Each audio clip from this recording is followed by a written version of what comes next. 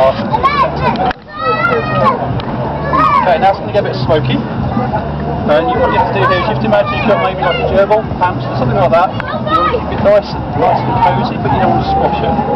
So, nice and cosy, and just going to give it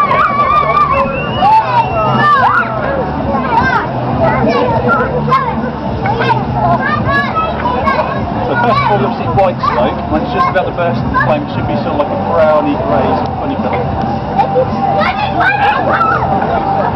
The pen, that, just. Good, uh,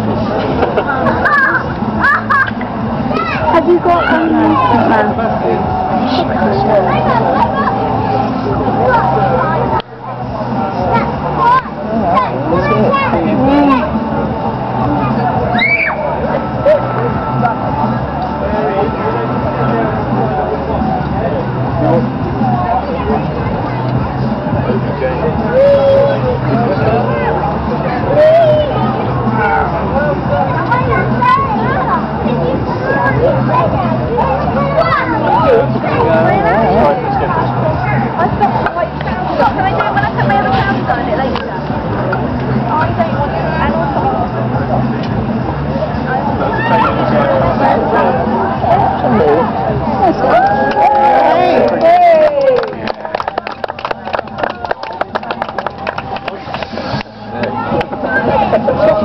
Okay, so that is, that's literally just rubbing two bits of wood together. There's lots of other ways you can do that.